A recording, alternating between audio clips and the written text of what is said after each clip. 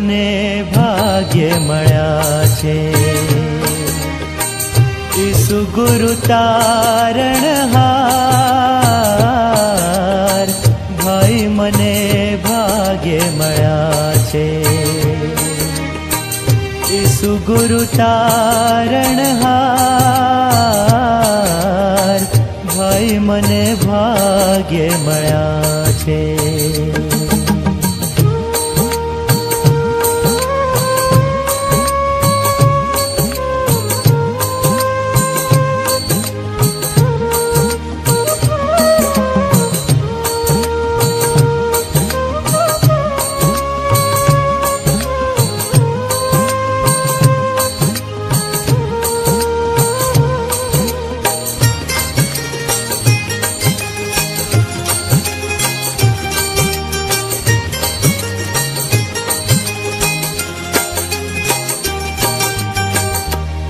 તન મન ધન મારા પ્રભુને અર્પું તેની જાઉં બલિહાર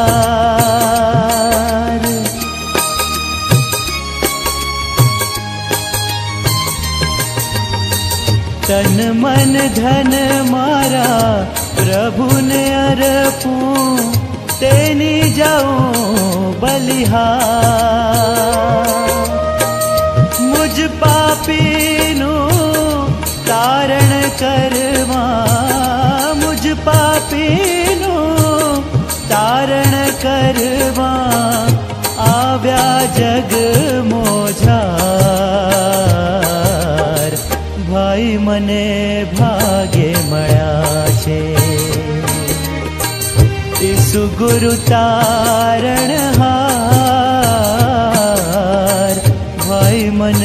મને ભાગ્ય મળ્યા છે.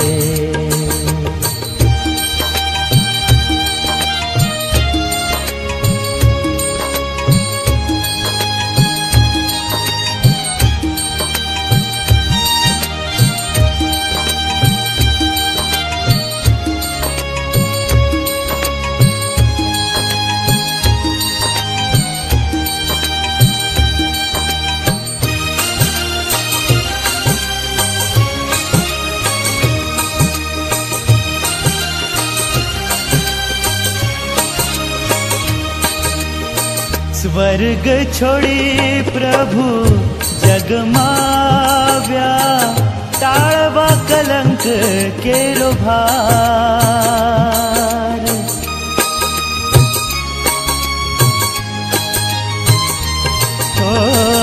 સ્વર્ગ છોડી પ્રભુ જગમાવ્યા. ટાળવા કલંક કેરો ભાર. પાપી જગને દેખી દયાળે પાપી જગને દેખી દયાળે અનેક કીધા ઉપકાર ભાઈ મને ભાગ્ય મળ્યા છે ઈસુ ગુરુ તારણ હાર ભાઈ મને ભાગ્ય મળ્યા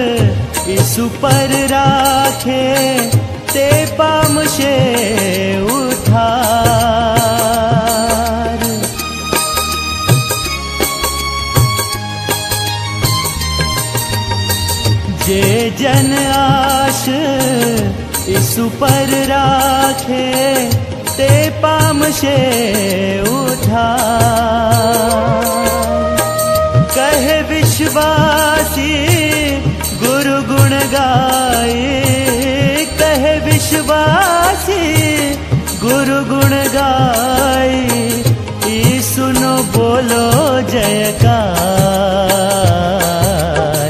भाई मने भाग्य मया छे। ईसु गुरु तारण भाई मने भाग्य मया छे। भाई मने भाग्य मया छे। ભાઈ મને ભાગ્ય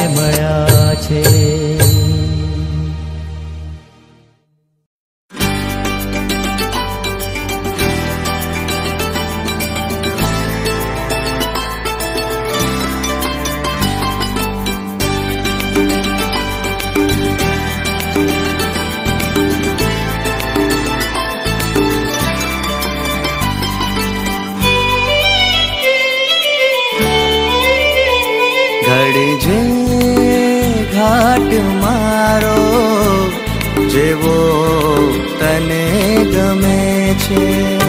ઘડજે ઘાટ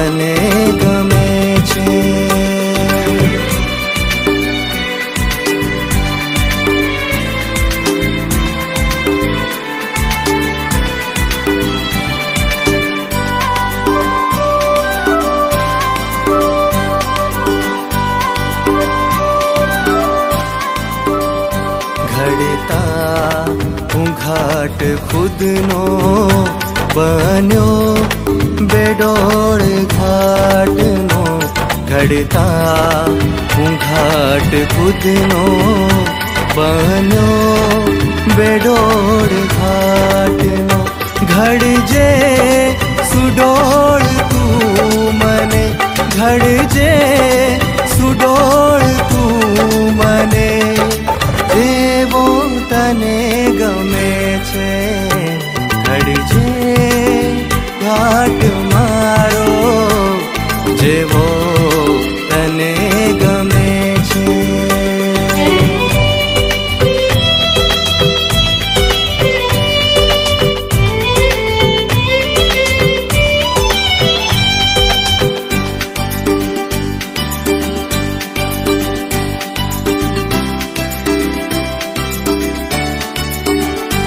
संगीत जीवनो आघड़ो संधाय न क्याय जगमा।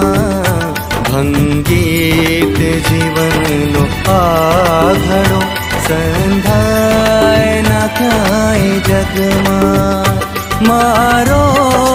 कुशल तू मारो कुशल तू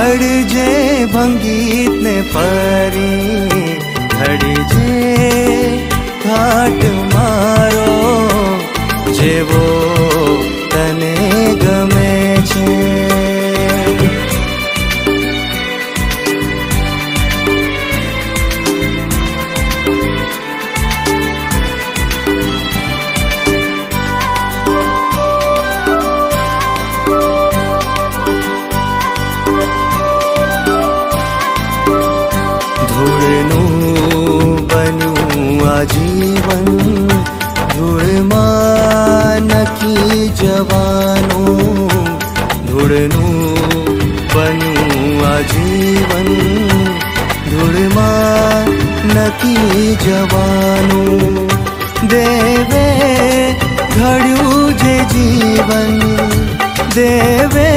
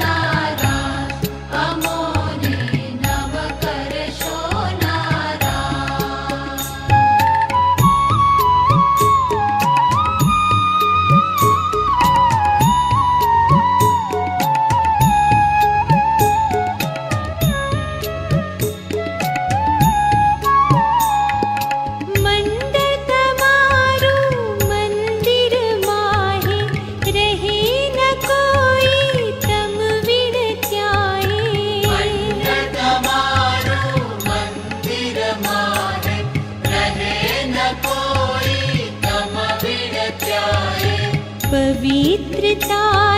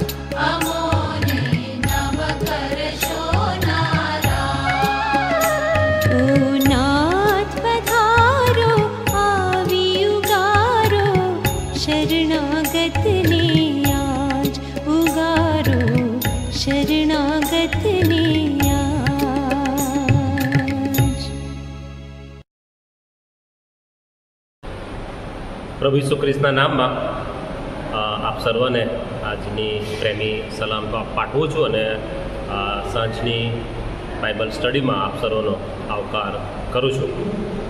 આ સમય અને તકને માટે ઈશ્વર પિતાનો પુષ્કળ આભાર માનું છું. સાથે સીએનઆઈ ગુજરાત ડાયોસિસના બિશપ સાહેબ, સિલવાન સાહેબ તેમજ તેમની આખી ટીમ અને ટેકનિકલ ટીમ, એ સર્વનો પણ હું આભાર માનું છું. આજે આપણે જે વચનો પર મનન કરવા માંગીએ છીએ એ ખોલીએ અને બાઇબલમાંથી માથીની લખેલી સુવાર્તા અને તેનો અઢારમો અધ્યાય અને તેની એકથી છ કલમનું આપણે વાંચન કરીશું. માથીની લખેલી સુવાર્તા, અઢારમો અધ્યાય અને તેની એકથી છ કલમ. અને ત્યાં આ પ્રમાણે લખવામાં આવ્યું છે. તે જ વેળાએ શિષ્યોએ ઈસુની પાસે આવીને કહ્યું કે આકાશના રાજ્યમાં સૌથી મોટું કોણ છે? ત્યારે તેણે એક બાળકને પાસે બોલાવીને તેને તેઓની વચ્ચે ઊભું રાખીને કહ્યું કે હું તમને ખચિત કહું છું કે જો તમે નહીં ફરો ને બાળકોના જેવા નહીં થાઓ, તો આકાશના રાજ્યમાં તમે નહીં જ બેસશો. માટે જે કોઈ પોતાને આ બાળકના જેવું દીન કરશે, તે જ આકાશના રાજ્યમાં સૌથી મોટું છે. વળી જે કોઈ મારે નામે એવા એક બાળકનો અંગીકાર કરે છે, તે મારો પણ અંગીકાર કરે છે. પણ આ નાનાઓ જેઓ મારા પર વિશ્વાસ કરે છે તેઓમાંના એકને જે કોઈ ઠોકર ખવડાવશે, તે કરતાં તેની કોટે ઘંટીનું પડ બંધાય ને તે સમુદ્રના ઊંડાણમાં ડૂબાડાય, એ તેને માટે સારું છે. ત્યાં સુધી આવો આપણે વચનોના મનનમાં જઈએ તે પહેલાં પ્રાર્થના કરીએ અને પ્રભુની સહાય માંગીએ. જીવંત અને કૃપાળુ ઈશ્વર, તમારી હજુરમાં તમારા લોકો તરીકે એક વિશેષ વ્યવસ્થામાં પ્રભુ તમારી આગળ નમ્યા છે, ત્યારે પ્રભુ તમારી કૃપા, સહાય અને દોરવણી માંગીએ છીએ તમારા વચનો કે જે જીવંત છે, પવિત્ર છે, અમારી સાથે વાત કરનાર છે એ વચનોને આજે ફરી એકવાર તમે અમારા માટે આશીર્વાદિત કરો કે જેથી કરીને એ વચનો અમારી સાથે બોલે. પ્રભુ, તમે બોલો અને અમે સાંભળીએ અને અમે અનુસરનારા બનીએ એવી અમારી વિનંતીને પ્રાર્થના છે. અમે સર્વ તમારા હાથોમાં સોંપાઈએ છીએ અને પ્રાર્થના પ્રભુ ઈસુના નામમાં લાવીએ છીએ. માટે સાંભળો અને સ્વીકાર કરો બાપ. આમેન.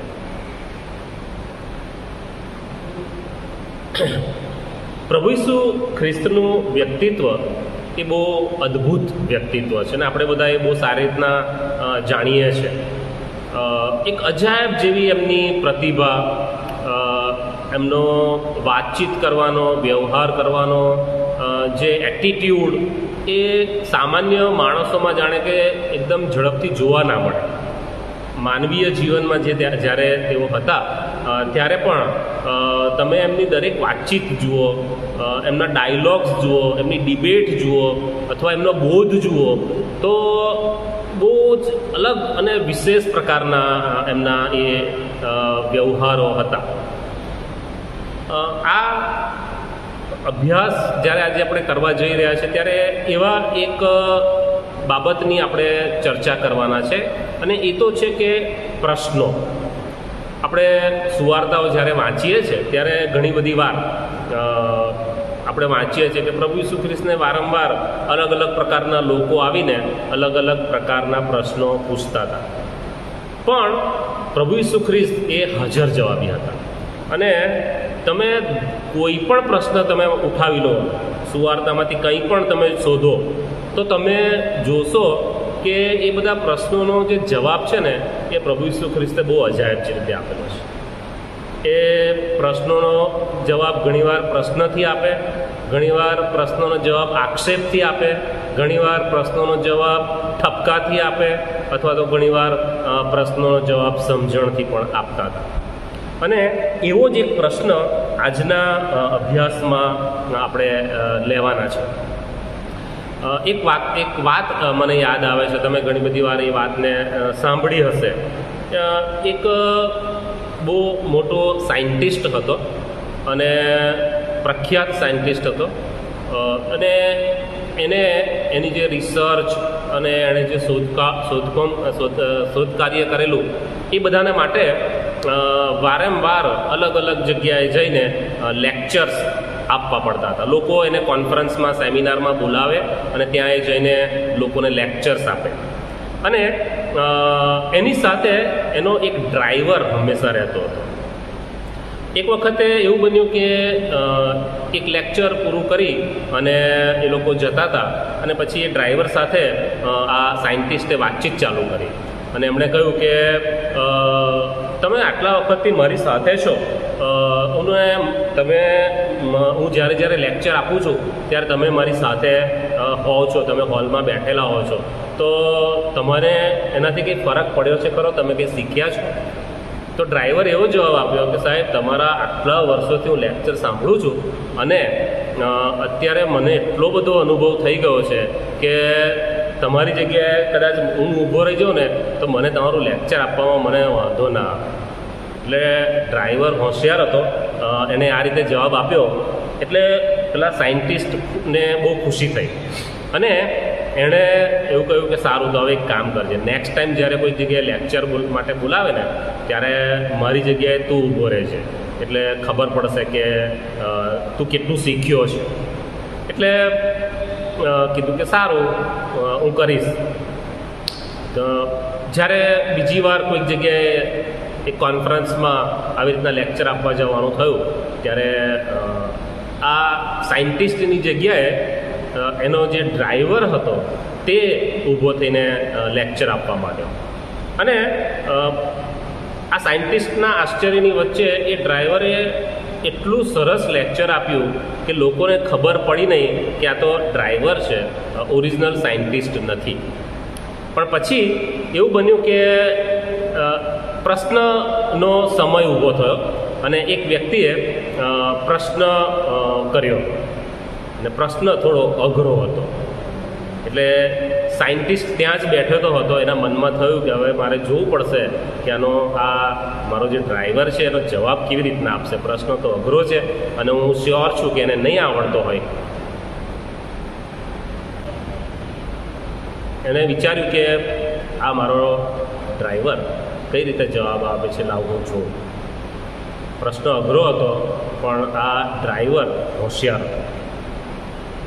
જ્યારે એને પ્રશ્ન પૂછવામાં આવ્યો, ત્યારે એણે તરત જ કહ્યું, ઓહો, આ પ્રશ્ન તો બહુ સહેલો પ્રશ્ન છે. આનો જવાબ તો છે ને, મારો ડ્રાઈવર પણ આપી શકે છે. અને મારો ડ્રાઈવર અહીંયા મારી આપણી મધ્ય હાજર જ છે. હું એને કહીશ કે આ પ્રશ્નનો જવાબ એ આપી દેશે અને આ સાયન્ટિસ્ટ એના આ હાજર જવાબી અને તાત્કાલિક એક સમજદારીપૂર્વકના રિસ્પોન્સથી બહુ ખુશ થઈ ગયો. પ્રભુ ઈસુ ખ્રિસ્ત પણ આવા જ પ્રકારની એક અજાયબ પ્રકારની હાજર જવાબી અને એક વિશેષ આવડત ધરાવતા વ્યક્તિત્વ ધરાવતા એ ઈશ્વર હતા. અને એમના રિસ્પોન્સ એ આપણે વિચાર્યું હોય, આપણે કલ્પ્યું હોય, એનાથી કંઈક જુદા જ આવતા હતા. આપણે ઘણીવાર પ્રશ્ન પૂછ્યો હોય અને એનો જવાબ કંઈક અલગ જ આવે. આપણને બધાને યાદ છે કે જ્યારે કોઈ ક્વેશ્ચન આવે ને, એક ક્વેશ્ચન એવો પૂછવામાં આવ્યો હતો શાસ્ત્રીય ફરજ કે દ્વારા ઈસુ ખ્રિસ્તને કે કોના અધિકારથી તું આ કામો કરે છે? તો ઈસુ ખ્રિસ્ત સામે એનો જવાબ બીજા પ્રશ્નથી આપ્યો કે, યોહાનનું બાપ્તિસ્મા કોનાથી હતો એટલે સામેવાળો તરત ફસાઈ એ કોઈ જવાબ આપી શક્યા નહીં આ પ્રભુ ઈસુ ખ્રિસ્તની આવડત એમની હોશિયારી હતી અને જ્યારે આપણે અહીંયા આ માથીની સુવાર્તાને તેનો અઢારમો અધ્યાય વાંચ્યો અત્યારે કફર નહુમમાં આ લોકો ભેગા થયેલા છે અને શિષ્યો એ ઈસુ ખ્રિસ્તની પાસે આવીને ત્યાં એક પ્રશ્ન મૂકે છે અને પ્રશ્ન એ તો પહેલી જ કલમમાં છે કે આકાશના રાજ્યમાં સૌથી મોટું કોણ? શિષ્યો આ પ્રશ્ન પૂછે છે. સામાન્ય રીતે એવા જવાબો તરત દિમાગમાં આવે કે ના ના આકાશના રાજ્યમાં નાનું, મોટું એવું બધું કશું હોતું નથી. બધા આકાશના રાજ્યમાં સરખા જ છે. કોઈ ઊંચું, નીચું એવું કશું નહીં. કોઈ ઊંચી જાતનું, નીચી જાતનું એવું કશું નહીં. આકાશના રાજ્યમાં તો બધા જ સરખા છે, બધા જ સમાન છે. પણ આપણે જોયું તેમ આ તો ઈસુ ખ્રિસ્ત છે. અને પ્રશ્નનો જવાબ આવે ત્યારે એમનો જે રિસ્પોન્સ હોય એ બહુ જ અલગ પ્રકારનો હોય, અકલ્પનીય હોય. એટલે એમણે જે જવાબ આપ્યો ને, એ બહુ વિચારવા જેવો છે. એમણે શું કર્યું? બીજી કલમમાં લખ્યું છે પ્રમાણે, ત્યારે તેણે એક બાળકને પાસે બોલાવીને તેને તેઓની વચ્ચે ઊભું રાખીને કહ્યું કે, હું તમને ખચિત કહું છું કે જો તમે નહીં ફરો ને બાળકોના જેવા નહીં થાઓ, તો આકાશના રાજ્યમાં નહીં જ બેસશો. પ્રશ્ન શું હતો? કે આકાશના રાજ્યમાં મોઢું કોણ? અને જવાબ શું આવ્યો? તમે આકાશના રાજ્યમાં નહીં બેસો. એટલે પ્રભુ ઈસુ ખ્રિસ્ત માટે અને આપણા માટે સૌથારે, સૌથી વધારે મહત્વની કોઈ જો બાબત હોય ને, તો એ આકાશના રાજ્યમાં કઈ પોઝિશન મળશે, કયો ઋતબો મળશે કઈ સીટ મળશે એ નથી. પહેલાં તો આપણે ચિંતન, મનન અને વિચાર કરવાની જરૂર છે કે આકાશના રાજ્યમાં પ્રવેશ મળશે કે કેમ? અથવા હું કેવી રીતના આકાશના રાજ્યમાં પ્રવેશ કરી શકીશ? મારા માટે આ વધારે મહત્વનો વિચારવાનો પ્રશ્ન છે. આકાશના રાજ્યમાં મોટું કોણ એનો જવાબ પાછળથી કદાચ મળશે આપણને. પણ એ અગત્યનું નથી. એના કરતાં વધારે અગત્યનું એ છે કે સૌથી પહેલાં આપણે એ વિચારીએ કે આકાશના રાજ્યમાં મને પ્રવેશ મળશે કે કેમ? પછી ત્યાં પોઝિશનની વાત આવીને ઊભી રહે છે. પહેલાં આપણે આપણી જાતને આકાશના રાજ્યમાં પ્રવેશવાને લાયક બનાવવું છે. હવે આ લાયકાત મેળવવા માટે પ્રભુ ઈસુ ત્યાં એક ઉદાહરણ આપણને આપ્યું. અને એમણે શું કર્યું? એક નાના બાળકને લીધું, તેઓની વચમાં ઊભું રાખ્યું અને એમણે બતાવ્યું કે આવા બાળકના જેવા તમે થાવ જો એવા નહીં થાવ જો નહીં ફરો, તો તમારો પ્રવેશનો જ પ્રશ્ન ઊભો થાય છે. પછી મોટા નાનાની વાત તો બાજુ પર રહી ગઈ. અને આ પ્રભુ ઈસુ રિસ્પોન્સ હતો.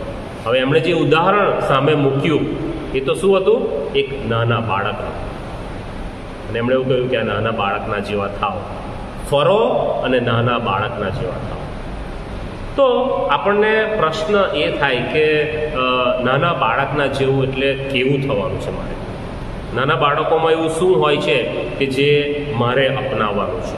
અને એ ઘણી બધી બાબતો આપણે જાણીએ છીએ. આજે ફરી એકવાર એને વિચારવાની કોશિશ કરીએ. સૌથી પહેલી બાબત કે બાળકોના જેવું બનવું હોય ને તો બાળકોમાં જે નિર્દોષતા હોય છે ને, એ નિર્દોષતા આપણે આપણા સ્વભાવમાં ડેવલપ કરવી પડશે અને વધારવી પડશે. કારણ કે આપણા બધાનો જ અનુભવ છે, નાના બાળકો એ એ બહુ નિર્દોષ હોય છે. એ લોકો દુષ્ટતા વિશે, ભૂંડાઈ વિશે એ બધાથી અજાણ હોય છે. પણ જેમ જેમ મોટા થતા જાય છે ને, પછી ધીરે ધીરે એ દુષ્ટતાની સમજણ ને ભૂંડાઈની સમજણ અને જગતના આકર્ષણો અને એ બધામાં ધીરે ધીરે મોટો થઈને માણસ ફસાતો જાય છે. પણ પ્રભુ ઈસુ ખ્રિસ્ત એવું કહે છે, જો તમારે આકાશના રાજ્યમાં પેસવું છે, તો બાળકોના જેવા નિર્દોષ બનો. દુષ્ટતા વિશે જાણકારી રાખવી ભૂંડાઈ વિશે જાણકારી રાખવી એ જરૂરનું છે. પણ એનાથી આપણી જાતને આપણે નિર્દોષ એટલે કે દોષ વગરના રાખીએ. અને મોટા થયા પછી પણ નિર્દોષપણે જીવી શકાય છે એવું આ કલમ આપણને શીખવે છે. મોટા થયા પછી પણ નાના બાળકના સ્વભાવ સાથે આપણે જીવી શકીએ છીએ એવું આ પ્રભુ ઈસુ ખ્રિસ્ત અહીંયા આપણને શીખવાડી રહ્યા છે. કારણ કે ઘણી બધી વાર આપણા અનુભવોમાં, આપણા ડિબેટ્સમાં, વાતચીતમાં ઘણીવાર સંઘર્ષમાં આપણે એવા વાક્યો વાપરતા હોઈએ છીએ કે હું, મેં બી કોઈ છોટા બચ્ચા નહીં હું. પ્રભુ ઈસુ એવું કહે છે કે ના ના ના, તમે નાના બાળકના જેવા તાવ કરો અને તો આકાશના રાજ્યમાં બેસવાને માટેની લાયકાત આપણે ઊભી કરી શકીએ છીએ. બાળકોમાં બીજી એક બાબત જે જોવા મળે છે ને, એ બહુ અગત્યની છે. અને એ તો છે, બાળકોની અંદર વેરની ભાવના હોતી નથી. એટલે કે એ- વેરને એ લોકો સાથે લઈને ફરતા નથી. હા, નાના બાળકો ઘણીવાર લડે, ઝઘડે, થાય એવું. પણ તમે અને હું જ્યારે એ નાના બાળકને એ લોકોને સમજાવીએ છીએ ને, ત્યારે લોકો તરત જ ફરી પાછા જાણે કંઈક બન્યું જ નથી એવી રીતના એકબીજાની સાથે મળી અને ભેગા થઈ અને રમવા માંડે છે. પછી પાછળથી જોઈ લઈશ, પછીથી વેર વાળીશ, પછીથી હું એનો બદલો લઈ લઈશ. આવું બધું બાળકો યાદ રાખતા નથી. વાલાઓ ઈસુ ખ્રિસ્ત આજે અહીંયા આ કલામો દ્વારા આપણને આ સમજાવી રહ્યા છે કે બાળકોના જેવા બનો, એટલે કે વેરની ભાવના અથવા બદલાની ભાવના જો તમારા ને મારા હૃદયમાં છે, રાખી મૂક્યું છે કોઈકના માટે, તો ત્યાં એવો શબ્દ એક વાપર્યો છે, સરસ શબ્દ વાપર્યો છે, ત્રીજી કલમમાં કે ફરો. પાછા વળી જાઓ. આજે મારે અને તમારે એ સમજવાની જરૂર છે કે જો મારા હૃદયમાં કોઈના પણ પ્રત્યે કોઈ પણ પ્રકારની કોઈ વેરની ભાવના છે, બદલો વાળી લેવાની ભાવના છે, કે કોઈ કડવાશ રાખીને હું ફરી રહ્યો છું, તો પ્રભુને આગળ કહીએ કે પ્રભુ, હું ફરવા માગું છું. મારે પાછા ફરવાની જરૂર છે. પ્રભુ, એવું હૃદય તમે મને આપો. પ્રભુ એવું કહે છે કે જો તમે નહીં ફરો ને અને આવા બાળકોના જેવું નહીં કરો અને વેરની ભાવના લઈને ચાલ્યા કરશો, બદલાની ભાવના લઈને ચાલ્યા કરશો, તો આકાશમાં, રાજ્યમાં પ્રવેશવાને માટે તમારે મારા માટે એક મોટો પ્રશ્ન ઊભો થાય છે મોટા થયા પછી આ વેરની ભાવના, લડી લેવાની ભાવના બદલો વાળવાની ભાવના એ બહુ ખતરનાક રીતે ડેવલપ થાય છે. અને એવું બને છે કે એકબીજાની સામે જોવાના સંબંધો બંધ થઈ જાય. એકબીજાની સાથે બોલવાના સંબંધો પૂરા થઈ જાય. અને એટલી બધી કડવાશ આપણા વર્તનમાં અને આપણા વ્યવહારમાં દેખાય કે લોકોને પણ ખબર પડે. અને એમ કરીને આપણે આકાશમાં, રાજ્યમાં પ્રવેશવાની જે લાયકાત છે ને, એ લાયકાત પર ચોકડી મારવાનું કામ છીએ ઘણી બધી વાર આપણે સરસ લાંબી પ્રાર્થનાઓ કરાવીએ સંદેશો આપીએ. હું પણ અહીંયાથી સંદેશો આપું છું. પણ પછી આ જગ્યાએથી હટીને જગતની અંદર, જગતના લોકો સાથે, મંડળીના લોકો સાથે જ્યારે વ્યવહારની ભાવના વ્યવહાર કરવાના સમયો ઊભા થાય છે ને, ત્યારે એ એ પ્રત્યક્ષ કે પ્રત્યક્ષ અથવા પરોક્ષ રીતે કોઈકના માટે રાખી મૂકેલું એ વેર ભાવ એ કામ કરી જાય છે. અને એવા વખતે પ્રભુ ઈસુ ખ્રિસ્ત આપણને અહીંયા એવું શીખવાડે છે કે જો બાળકોના જેવા નહીં થાવ ને, વેરની ભાવના ભૂલી અને ફરી પાછા તરત એકબીજાની સાથે જોડાઈ નહીં જાઓ ને, તો તમારા મારને મારા માટે આકાશમાં ના રાજ્યમાં પેસવાને માટે એક પ્રશ્ન ઊભો થાય છે. એ લાયકાત માટે એક પ્રશ્ન ઊભો થાય છે. ત્રીજી એક બાબત જે બાળકોમાં જોવામાં આવે છે એ ભરોસાની બાબત હોય છે. બાળકોમાં કોઈકની ઉપર ને વિશેષ કરીને પોતાના વહાલાઓની ઉપર ને એમાંય વિશેષ કરીને પોતાના માતા પિતાની ઉપર ભરોસો ઝડપથી કરી લેવાનો એક ગુણ હોય છે. અને એ ગુણ આજે આપણે પણ અપનાવવાનો છે. આપણા સ્વર્ગીય પિતા પર સંપૂર્ણ ભરોસો કરવાનો ગુણ આપણે અપનાવી લેવાનો એક ઉદાહરણ તમે મેં ઘણી બધી વાર સાંભળ્યું છે કે એરોપ્લેનની અંદર એક દીકરી પ્રવાસ કરી રહી હતી. અને એની બાજુમાં એક વડીલ બેઠા હતા. અને જ્યારે વિમાન એ ઉપર આકાશમાં જાય છે અને પછી વાદળો મધ્યથી પસાર થાય છે અને અચાનક જ વાદળો વધી જાય છે અને એવામાં વિમાન થોડું હાલક ડોલક થવા માંડે છે, ઇમરજન્સી વોર્નિંગ આપવામાં આવે છે પણ પેલી છોકરી એકદમ શાંત મને. એકદમ આરામથી જાણે કંઈ ટેન્શન નથી એવી રીતના બેઠેલી હોય છે.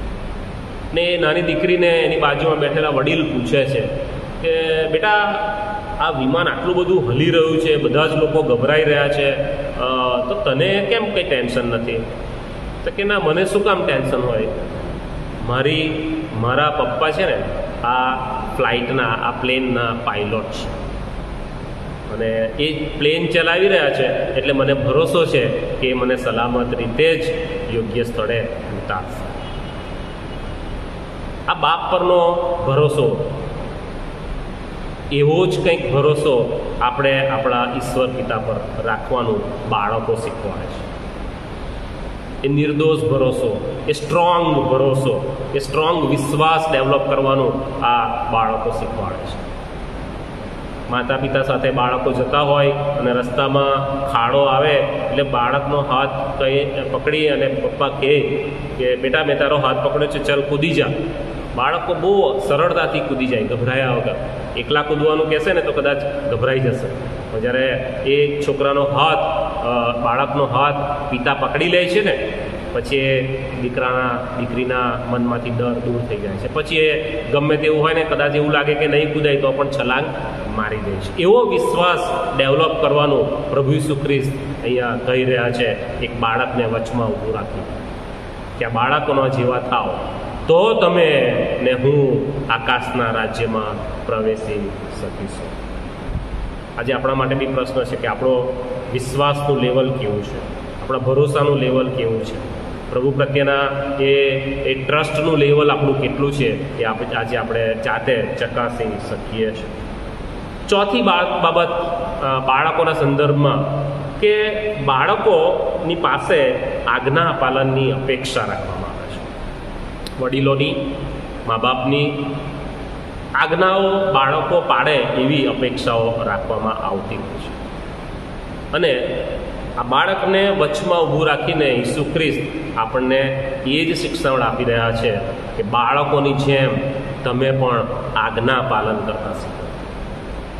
જે આજ્ઞાઓ બાપ તરફથી પ્રભુ ઈસુ ખ્રિસ્ત દ્વારા આપણા મધ્ય આવી છે, એ આજ્ઞાઓને જો તમે નહીં પાળો, જો નહીં ફરો, તો આકાશમાં આકાશના રાજ્યમાં પ્રવેશવાની લાયકાત માટે પ્રશ્નાચિહ્ન ઊભો થાય છે.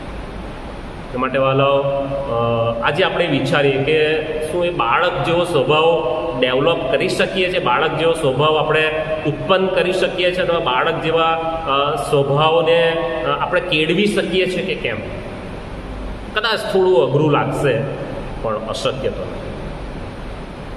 કદાચ કોઈને માફ કરવાની ભાવના ઉત્પન્ન કરવી બહુ કડવાશ હોય, મનમાં બહુ વેર હોય એને માફ કરી દેવાની ભાવના ઉત્પન્ન કરવી થોડું અઘરું લાગશે પણ અશક્ય નથી પ્રભુ સહાયતા છે.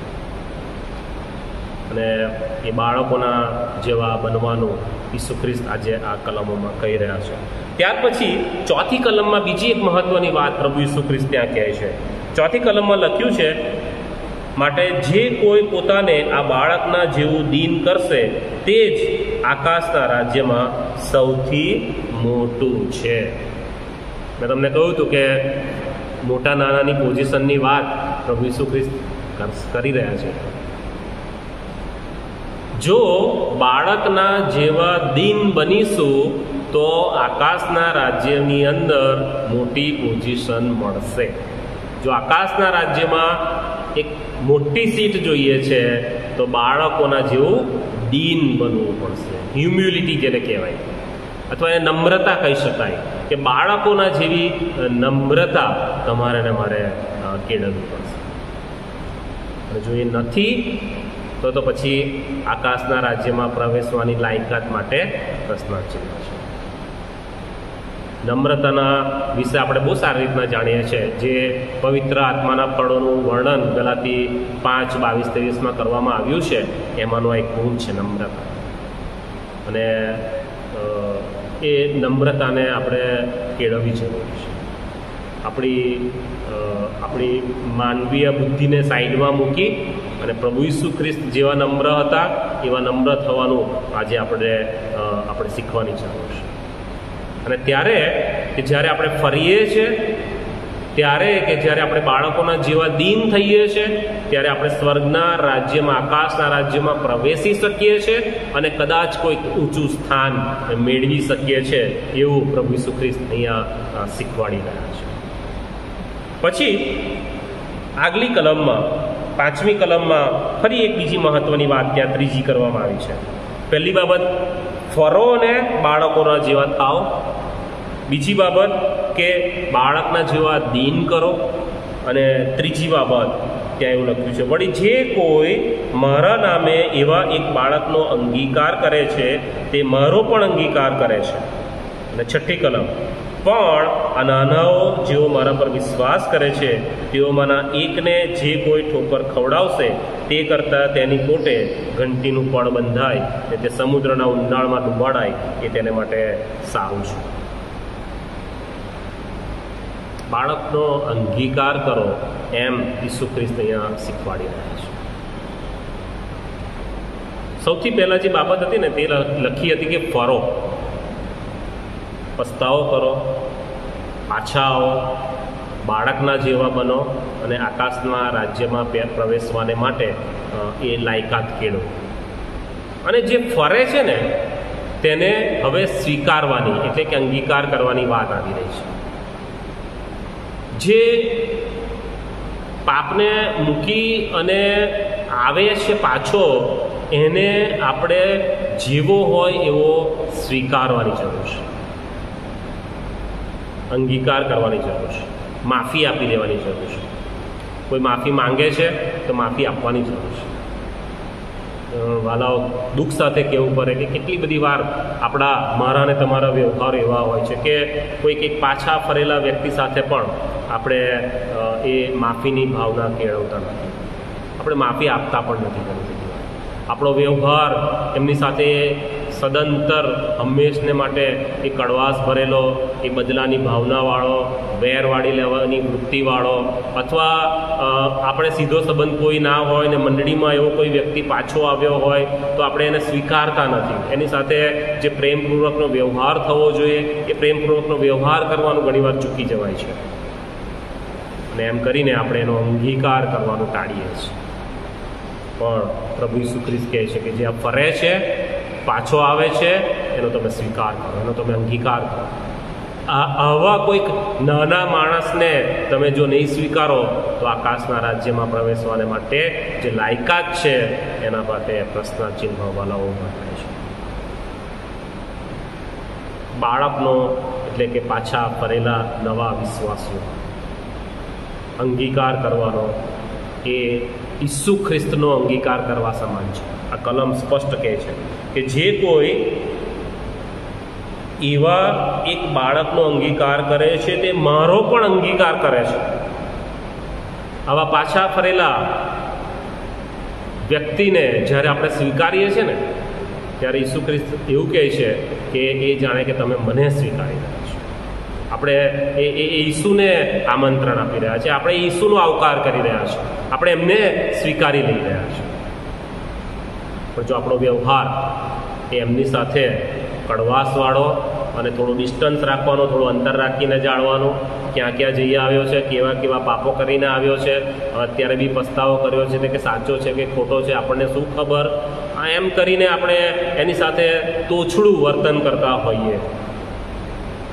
તો પ્રભુ ઈસુ ખ્રિસ્તને સ્વીકારવાથી આપણી જાતને આપણે દૂર રાખીએ છીએ. એવાનો પ્રભુ ઈસુ ખ્રિસ્ત કહે છે કે ના, એમને તમે એક્સેપ્ટ કરો. એમને તમે સ્વીકારો.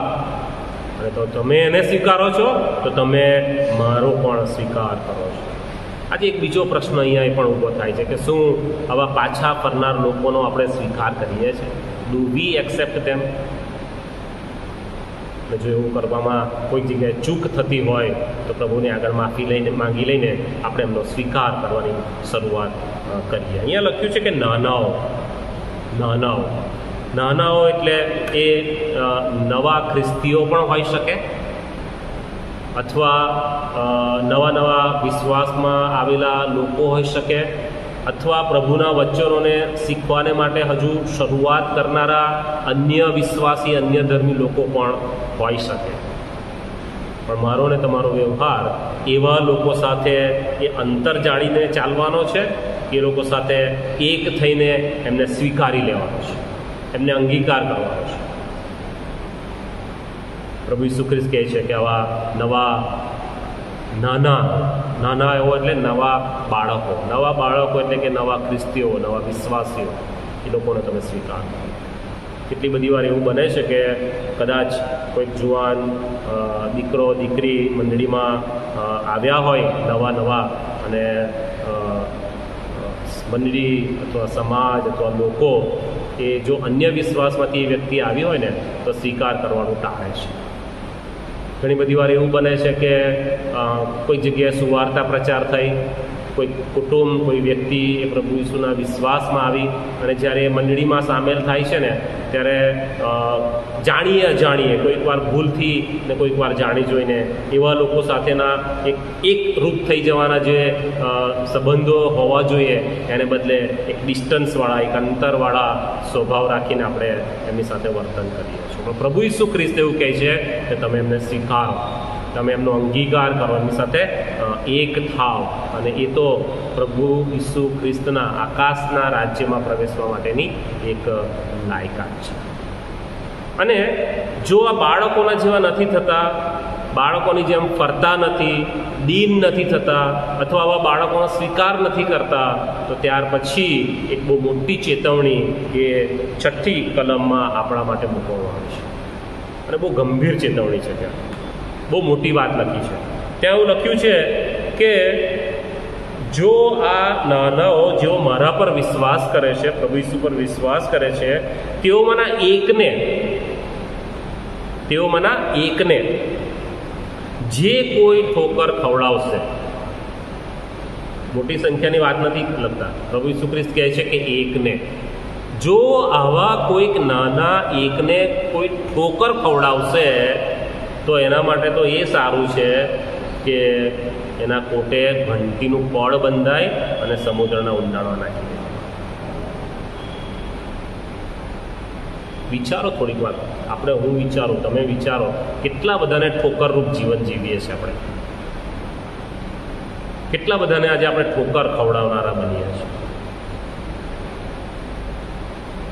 વર્ષોના ખ્રિસ્તી, પેઢીઓના ખ્રિસ્તી, બંધારણના જાણકાર અને વચનોના જાણકાર અને એમ છતાં પણ કેટલા બધા લોકો માટે હું પહેલાં ને પછી આપણે બધા ઠોકરરૂપ થયા છે. એ પછી ઉચ્ચ કક્ષાના ધાર્મિક આગેવાન હોય કે એકદમ સામાન્ય કક્ષાના નાનામાં નાના લેમેન અથવા નામધારી ખ્રિસ્તી જીવન જીવતા લોકો હોય. બધા જ આમાં સામેલ થાય છે. ઠોકર ખવડાવવાની બાબત. કારણ કે નાના બાળક જેવો સ્વભાવ ઉત્પન્ન અને મોટા થઈ ગયા છે માટે લોકોને હવે ઠોકરરૂપ બનવાનું ચાલુ કરી દીધું છે. કેટલી બધી વાર ઠોકર ખવડાવવાનું કામ તમે ને હું કરીએ છીએ. મોટી મોટી લાંબી લાંબી સરસ શબ્દોમાં આપણે પ્રાર્થના કરીએ. બહુ જ સરસ અલંકારિક ભાષા હોય. દેવળની અંદર પ્રાર્થના કરાવો અને લોકો લોકો એમ જાણે હચમચી ઉઠે એવી સરસ પ્રાર્થના હોય. પણ પછી જ્યારે એવી પ્રાર્થના કરાવીને હું બહાર નીકળું અને બે ચાર વ્યક્તિઓ એવા જો કે જે મારી મનપસંદ ના હોય, તો હું મોડું ફેરવી લઉં. અને એ ઠોકર ખવડાવવાનું કાર્ય હું કરી રહ્યો છું. કારણ કે મારામાં એ નાના બાળક જેવો સ્વભાવ નથી.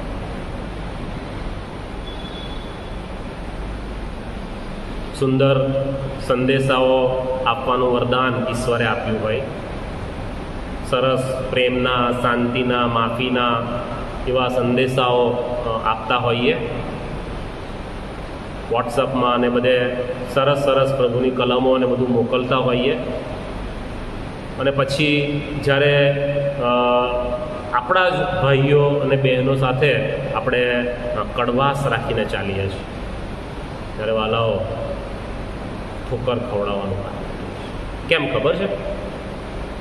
કે મને અને તમને ખબર નથી કે આ જે એકથી પાંચ કલમમાં જે બાળકો અને નાનાઓ જે લખ્યા છે ને, એવા કેટલાય બાળકો અને નાનાઓ તમને અને મને જોઈ રહ્યા છે. એ લોકો તમારા અને મારા વ્યવહારને જુએ છે. એ લોકો તમારી ને મારી વર્તણૂકને મારા શબ્દોને એ લોકો જુએ છે.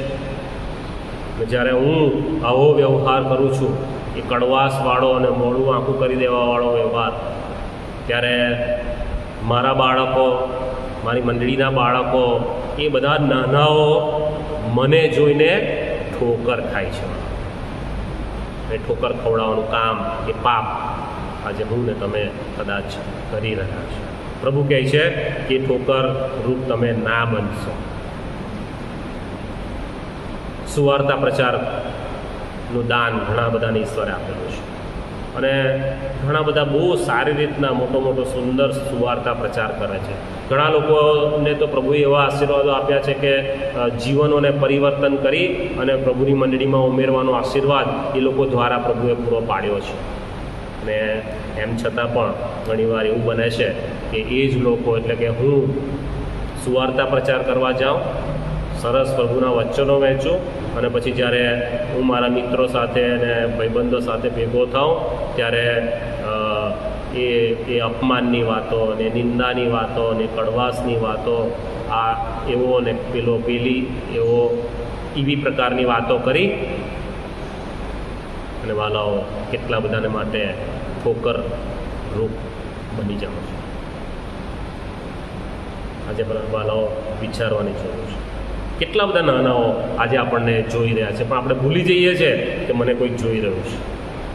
અને મારે કારણે કોઈ ઠોકર ખાઈ રહ્યું છે. માફ કરશો, કડવું સત્ય છે.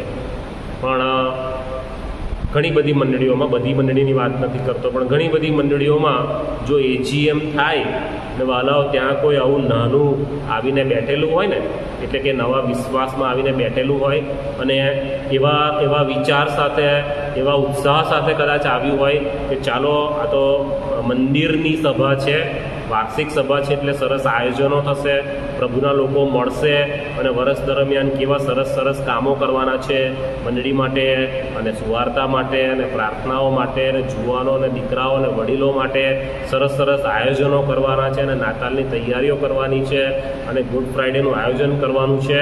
અને આ બધું કરવામાં કેટલી મજા આવશે. ને આ લોકો કેવી રીતના કરતા હશે? એમ કરીને લાવું જોવા જાઉં. એમ કરીને કોઈક નવો વિશ્વાસી, કોઈ નવું દાખલ થયેલું વ્યક્તિ આવીને જો ભૂલે ચૂકે, કોઈ મંડળીની એજીએમમાં બેસી જાય ને, તો વાલાઓ, એ તો ફરો જે શબ્દ લખ્યો છે ને એ ફરીને આવ્યો હોય, આપણે ત્યાં. મને તો એવું લાગે છે કે આપણે ત્યાંથી ફરી અને ફરી પાછો જ્યાં હતો ને, ત્યાં જતો રહેશે. આજે વિચારવાની જરૂર છે કે આપણે કોઈકને માટે ઠોકરરૂપ બની રહ્યા છે. વ્યક્તિગત રીતે ગ્રુપ તરીકે, મિત્રો તરીકે, કુટુંબ તરીકે કે મંડળી તરીકે, સમાજ તરીકે. કોઈકને માટે ઠોકરરૂપ તો નથી બની રહ્યા. કારણ કે લોકો નાનાઓ આપણને જોઈ રહ્યા છે. ને આજકાલ તો હવે સોશિયલ મીડિયાનો બહુ જ ઉપયોગ થાય છે. આપણે બધા બહુ સારી રીતના જાણે. અને જાણે ખુલ્લી છૂટછાટ મળી ગઈ છે. અને જેને જે ફાવે તે લખી કાઢે છે, જેને જે ફાવે તે એકબીજાને લખે છે. પણ એ એ એ વાલાઓ એવું નથી, એને સત્યની તપાસ કરવી, ના કરવી અલગ વસ્તુ છે. પણ એવી બધી બાબતો લખી અને એવા નવા વિશ્વાસીઓને માટે આપણે ઠોકરરૂપ બનીએ છીએ. ઈસુ ખ્રિસ્ત ના કહે છે કે ઠોકરરૂપ ના બનશે. કેમ? ખબર છે? જો છઠ્ઠી કલમમાં લખ્યું છે કે જો આવા એકને પણ તમે કે હું ઠોકર ખવડાવીએ, એના કરતાં પ્રભુ ઈસુ અહીંયા બહુ ખતરનાક સ્ટેટમેન્ટ આપે છે કે જો તમે ઠોકર ખવડાવો ને એક જણને, એના કરતાં તો એવું સારું છે કે તમારા કોટે ઘંટીનું પડ બાંધી દેવાનું અને તમને સમુદ્રમાં નાખી દેવાના. તરતા આવડે છે વાલાઓ તરતા આવડે છે, મને નથી આવડતું. અને પાણીમાં, ઊંડા પાણીમાં થોડું ઘણું બી અંદર જવાનો અનુભવ કદી કર્યો છે? બે પાંચ સેકન્ડ રહેવાનો. તરતા ના આવડતું હોય ને, ત્રીજી સેકન્ડે તો આપણે બહાર આવી જઈએ.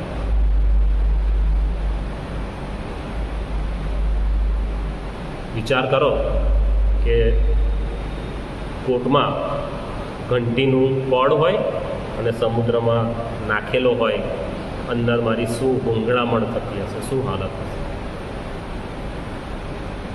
તરતા આવડતું હોય ને, તો પણ ઉપર ના જવાય. કારણ કે ઘંટીનું પડ મને ઉપર આવવા જ ના જો હું એકને ઠોકરરૂપ થઈ રહ્યો છું, એના કરતાં તો આ વધારે સારું છે એવું ઈસુ ખ્રિસ્ત સ્ટેટમેન્ટ આપે છે.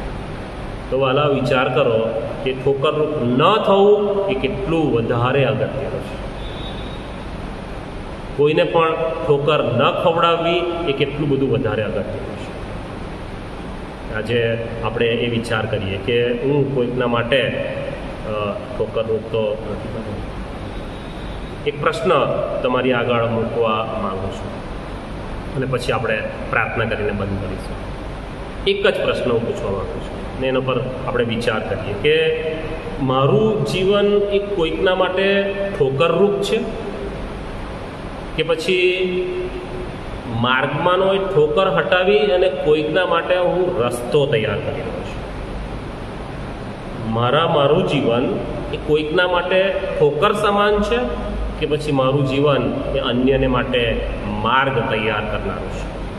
આજે આપણે એ વિચારીએ અને પ્રભુને પ્રાર્થના કરીએ જો કોઈને ઠોકર ખવડાવી રહ્યા છે કોઈ પણ રીતે, તો માફી માંગીએ અને પ્રભુની સહાય માંગીએ. અને કહીએ કે પ્રભુ, અમને પણ બાળકોના જેવા તમે બનાવો. અને એ નિર્દોષતા આપો. એ વેરની ભાવના અમારામાંથી દૂર કરો. એ કડવાશ અમારામાંથી દૂર કરો. બધાની સાથે હળી મળીને રહેવા અને પ્રેમથી આગળ રહેવાનો અને દીન બનવાનો અને પાછા ફરવાનો આશીર્વાદ પ્રભુ તમે મને આપો. આવો આપણે શાંત રહીએ અને પ્રાર્થનામાં જોડાઈએ. જીવતા પ્રભુ, અમે આ સમયે તમારો પુષ્કળ આભાર માનતા સ્તુતિ કરીએ છીએ. તમારા પવિત્ર અને મૂલ્યવાન વચનોને માટે તમારો આભાર માનીએ છીએ. પ્રભુ, તમે શીખવાડ્યું છે એ પ્રમાણે અમારે ફરવાની જરૂર છે, અમારે દીન બનવાની જરૂર છે, અમારે એ નાનાઓનો અંગીકાર કરવાની જરૂર છે. પ્રભુ, એમ કરવાને માટે તમે અમને સહાય અને મદદ કરો.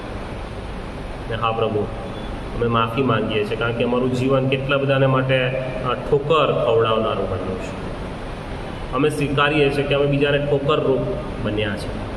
પ્રભુ, તમે અમને માફ કરો. અને અમારા જીવનમાં એ પરિવર્તન આવે કે અમે અન્યને માટે ઠોકર રૂપ નહીં, પરંતુ અન્ય લોકોને માટે માર્ગ સીધો કરનાર, પ્રભુ ઈસુ તરફ લઈ જનાર માર્ગ તૈયાર કરનારા જીવન તૈયાર કરીએ. તો એવું તમારી પાસે માંગીએ છીએ. આમ કરવાને માટે તમે અમ સર્વને, મને સાંભળનાર સર્વને પ્રભુ તમે કૃપા આપો. વચનોને સાંભળવાને માટે જ નહીં, પરંતુ પાળવાને માટેનું સામર્થ્ય પણ પૂરું પાડો એવી અમારી વિનંતીને પ્રાર્થના. પ્રભુ ઈસુ ખ્રિસ્તના નામમાં લાવીએ છીએ. માટે સાંભળો અને સ્વીકાર કરો.